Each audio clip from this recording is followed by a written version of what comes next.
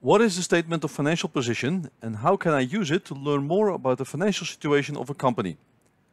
What do the various financial terms on the statement of financial position mean and how do I understand the full picture? The statement of financial position is an overview of what the company owns and what the company owes at a point in time. What is owned is on the left, what is owed is on the right. It's like a picture. Most companies call this overview of what is owned and what is owed a balance sheet. Some call it a statement of financial position. Not just the name of this financial statement can differ, also the sequence in which the various categories are listed can differ. By calling it a balance sheet, you describe the structure of the statement. Double entry bookkeeping requires debits to equal credits. By calling it a statement of financial position, you describe the function of the statement. It presents the financial position of an entity. When reading a statement of financial position, it is important to start off reviewing it by category. Non-current assets and current assets on the left, equity, non-current liabilities and current liabilities on the right. Non-current assets are longer-term investments that cannot be converted into cash quickly. Current assets are cash and other assets that are expected to be converted to cash within a year. Equity on the balance sheet is the book value of the shareholder capital. Non-current liabilities are amounts owed that are to be paid after the period of one year. Current liabilities are amounts due to be paid to creditors within 12 months. That's how the statement of financial position works on a conceptual level. Let's now look into the statement of financial position of a real-world company, Aerospace Corporation Airbus. We will review the statement of financial position for December 31st, 2019. As the statement of financial position is just a picture at a point in time, and a lot has happened in early 2020, future balance sheets of Airbus might look very different. Non-current assets 57.7 billion, current assets 56.7 billion, adding up to total assets of 114.4 billion euros. Equity 6 billion euros, non-current liabilities 46 billion, current liabilities 62.4 billion. The total amount owned equals the total amount owed. Per the accounting equation, assets equal equity plus liabilities. To put things in perspective, I always calculate as a minimum two financial ratios for the statement of financial position.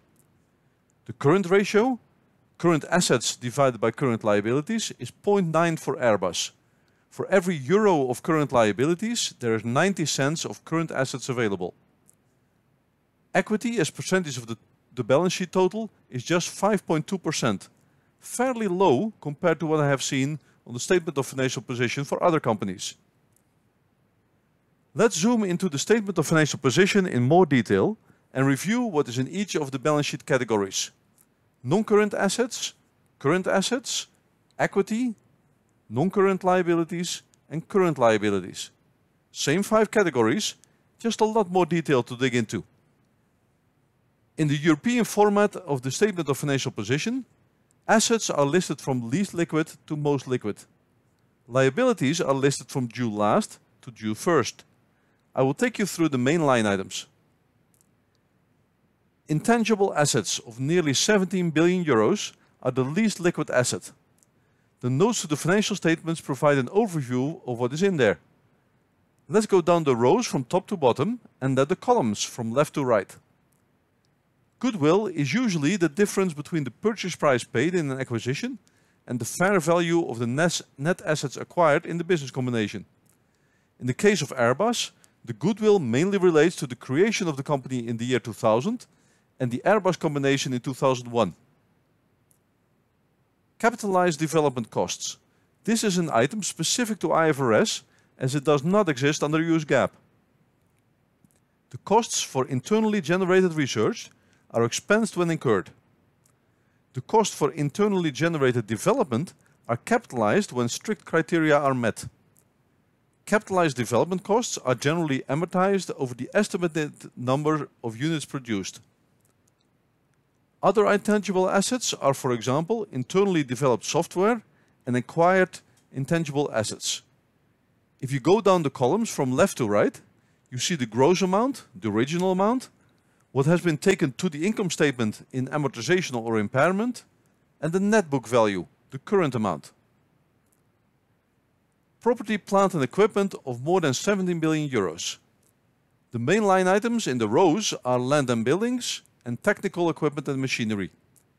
If you go down the columns, you see the gross amount, the original amount the property, plant and equipment was purchased for, what has been taken to the income statement over the years in depreciation or impairment, and the net book value, the current amount. The notes to the financial statements also provide the geographical split of the same 17 billion euros of property, plant and equipment. Inventories of nearly 32 billion euros. Interestingly enough, two-thirds of the value of inventories is in work in progress. This is inherent to the aerospace business and the production cycle of aircraft. In most other manufacturing companies that I have seen, for example in the chemical industry, the split between raw materials, work in progress and finished goods is roughly 25%, 25%, 50%. Trade receivables are a relatively low amount at Airbus, as a lot of advances and pre-delivery payments are made. Hence, there is little left to invoice and receive after completion of the delivery of goods and services. The notes to the financial statements, once again, provide a lot of detail, including an aging analysis of past due receivables. Cash and cash equivalents of 9 billion euros is the most liquid asset, an important line item to review. However, cash and cash equivalents is best viewed in a broader context, together with non-current and current securities and long-term and short-term financing liabilities. Here's that total picture, adding up to a net cash position of 12.5 billion euros. Cash plus securities minus financing liabilities. Cash is the amount the company has in the bank. Cash equivalents are securities with a maturity date of less than three months, which are readily convertible to known amounts of cash and which are subject to an insignificant risk of changes in value. Current and non-current securities at Airbus consist of a portfolio of corporate and government bonds. Short-term and long-term financing liabilities consist mostly of bonds and commercial papers issued by Airbus and lease liabilities. Now that we know what the main line items on the asset side of the statement of financial position mean, it is important to put things in perspective by clearly identifying the top three in terms of size. Inventories of 32 billion euros, property, plant and equipment of 17 billion euros, and intangible assets of 17 billion euros. That's 57% of the value of assets in just three line items. On to the equity and liability side of the balance sheet.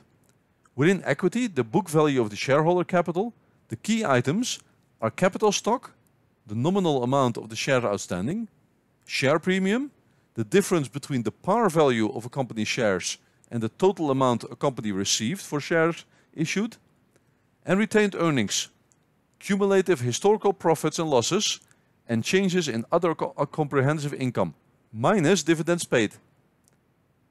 Then on to the largest items in liabilities. Contract liabilities of 43 billion euros. These relate to advances and pre-delivery payments and represent the company's obligation to transfer goods or services. The second largest item in liabilities is provisions of 19 billion euros, consisting of pensions and other provisions, such as litigation and claims, obligations for service and maintenance agreements, and warranties. The third largest items in liabilities is trade liabilities of 15 billion euros, basically what other companies would call accounts payable. Invoices received from suppliers that have not been paid yet. The statement of financial position, an overview of what the company owns and what the company owes at a point in time, which can tell very interesting stories about the financial situation of a company. Want to learn more about business, finance, accounting and investing? Then subscribe to the Finance Storyteller YouTube channel and start watching the next video in the recommendations on the screen. Thank you.